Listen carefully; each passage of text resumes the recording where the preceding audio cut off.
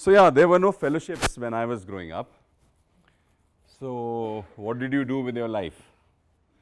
College was quite routine, boring. Adults never listened to us, never asked us, son, what do you want to do with your life? So you read occasionally and growing up in Punjab, you fought mostly. you know, so that was the big thing in college. So I also grew up during militancy in Punjab. So grew up really angry. Uh, college, I entered, I failed in the same class thrice over. So I was in the same class three years and my father wondered, you know, if I was a drug addict or what. And finally, he one day asked me to pick up my cycle and go to an ITI, Industrial Training Institute. And he had set up an appointment with the principal of that ITI. And he said, Captain Saab, your son can't get admission in an ITI. So when we stepped out of that institute, that's when I realized that man, you know, you're not cut out to be a TV mechanic or a refrigeration mechanic. And uh, so the next best thing to do was to look for a purpose and uh, again, you know, how do you not fight? So you get into sports. And uh, so yeah, did all the muscular sports that were available, available in that era. I mean, I played very awkward sports. I played uh, cycle polo, for instance, uh, because I was not born into, you know, families which bred horses and stuff. Uh, so I did rowing, you know, in Chandigarh, you know, rowing was a big thing because we had a lake and we had a racing course. But the senior teams in Chandigarh, the Gundas, they wouldn't let us practice. So I used to take out a boat at 2 p.m., you know, in the summers in 45 degrees and that's how kind of, you know, we practiced when the seniors were not uh, at the rowing club and then one day they realized that there's a bunch of youngsters who've made a team. We won the regatta, we went to national India to play the India nationals, played for the national games, got a silver there. So all of that story. Uh, fundamentally, that was the only way of preventing myself from getting drunk at 11 a.m. on a bottle of, you know, desi sharab. And uh, so, yeah, sports. And that was the game changer. And the other game changer was travels. My father would give, ask me once a year, son, where do you want to travel to? And he'd give me a, you know, one-way ticket and sew the other ticket, the money for the return ticket in my vest and because he was a Fauji, he used to, you know, make me carry a hold all on my travels, you know, those, that era, there were no rucksacks. So yeah, I mean, that's how life began and kind of, you know, growing up angry. So journalism was the only possibility. So I became a journalist. and within 10 years, I realized that, you know, this was not the place journalism was not going to cause the change that I aspired for because, uh, you know, the color supplements and the trivializing had begun to happen in the 90s and I jumped the gun. And uh, a friend of mine and I, we said, this damn newspaper which is at 11 a.m., it becomes raddi. It's got so much of grey stuff, how can it become raddi? And we decided to analyze the newspapers in that era and we found that a lot of content could be peddled.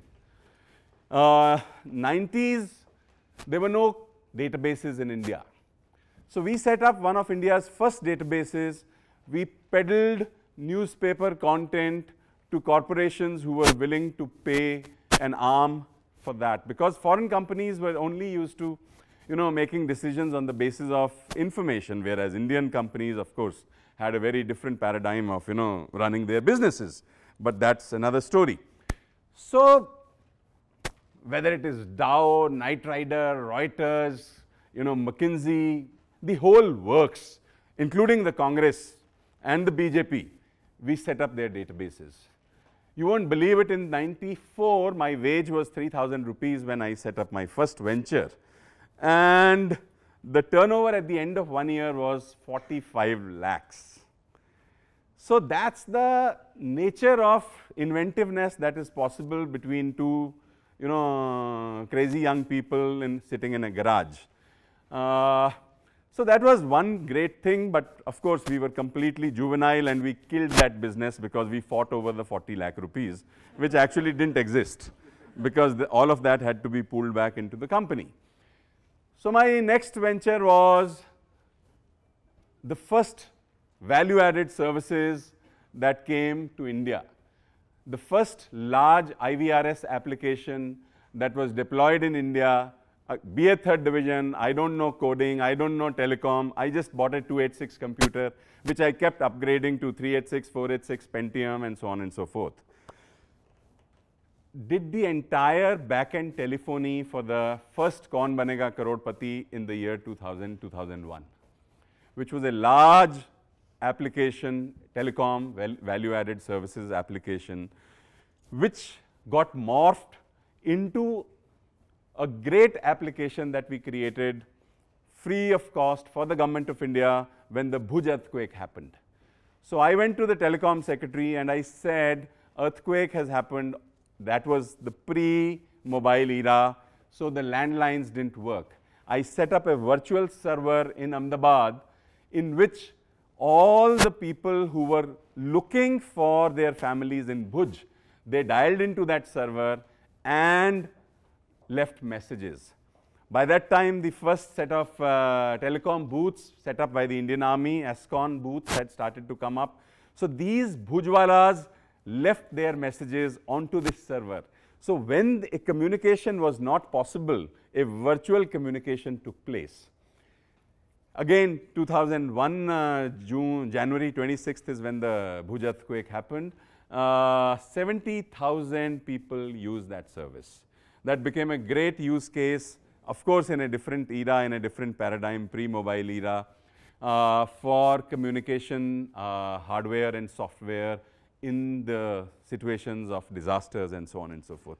My point is, the point that I am trying to make is, problems abound us. Who will solve these problems?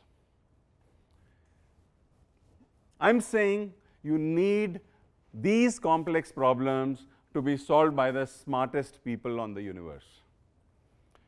The point that I want to make is that you guys sitting in this room are the most privileged people on this universe. You are probably a 1% which is attempting to do good rather than the accepted norm of doing well. People who are attempting to do good I mean, look at it. What, what feature sets would these young people have? Obviously, these young people are very high on Maslow's, uh, you know, hierarchies and curves. I mean, you really don't need to bother for a wage.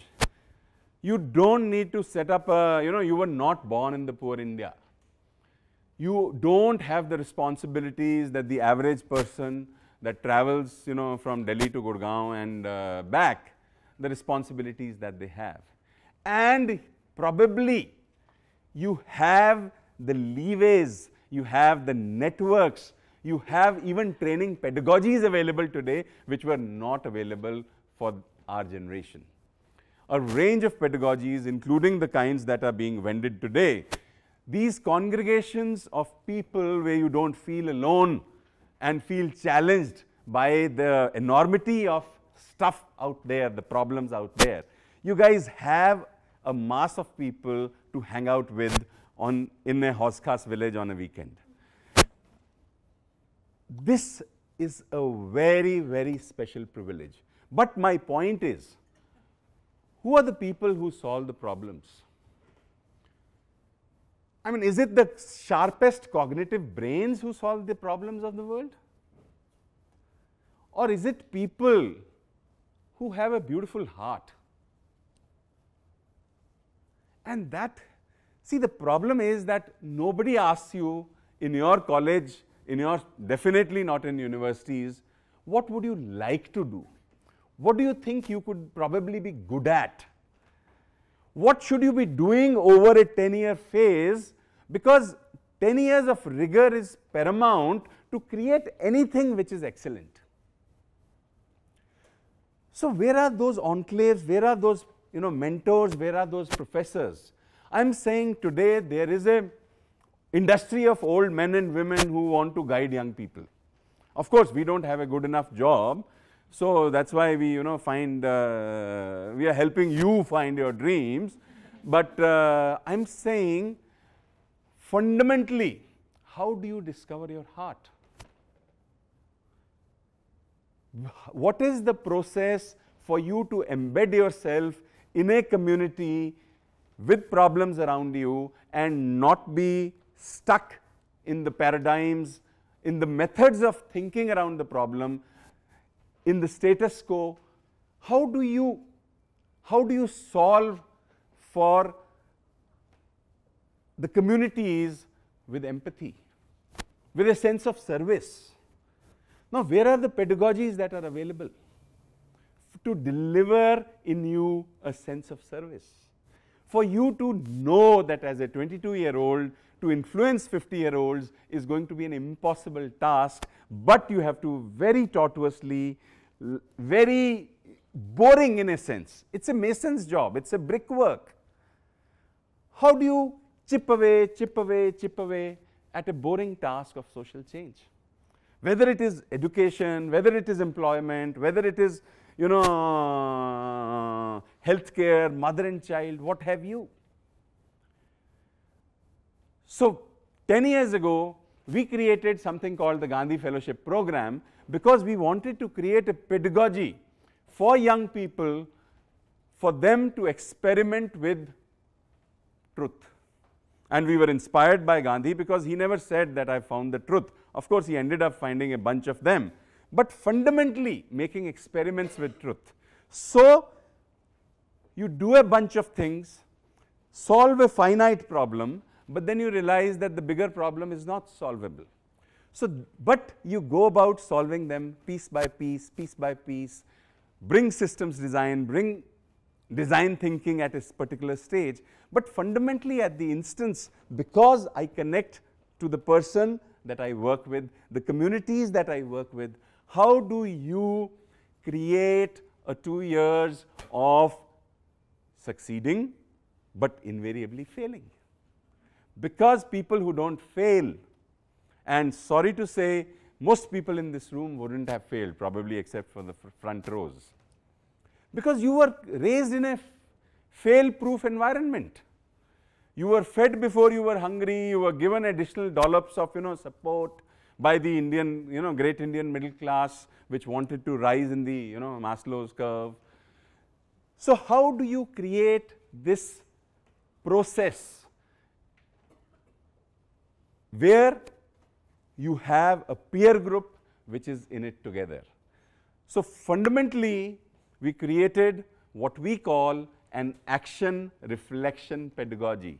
Adults do not learn by reading alone. Adults learn through experiences. Experiences are a subset of doing something because the Delhi University canteen is a great space for concepts but you need to work, you need to get things going, you need to create a piece and realize its possibilities and realize its failings and as a collective.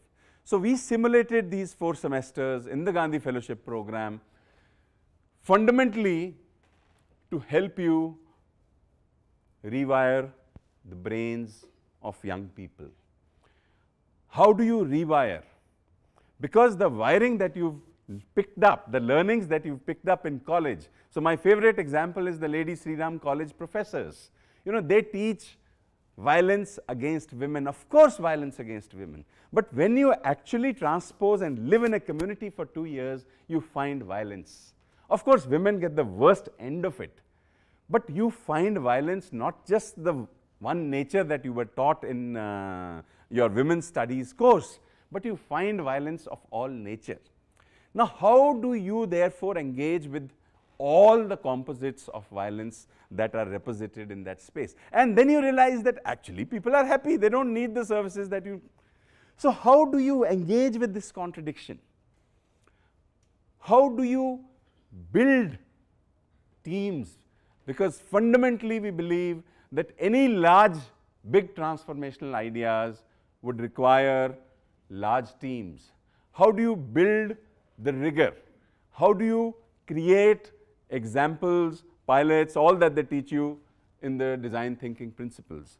Fundamentally, the reason why I've worked with young people for 10 years is because I don't want you guys to take the path that I took once upon a time. I feel that's, that was a destructive road. You guys can be constructive, the ecosystems exist. The bureaucracy today believes, the, polit the politics believes that civil society, young people can cause the change. 20 years ago, 10 years ago, they had no faith in young people, not enough faith. But today, there is a great space for you to innovate, to create ideas that would bit by bit by bit solve for the problems, not just of the societies in which you exist, but probably also of the universe. Thank you.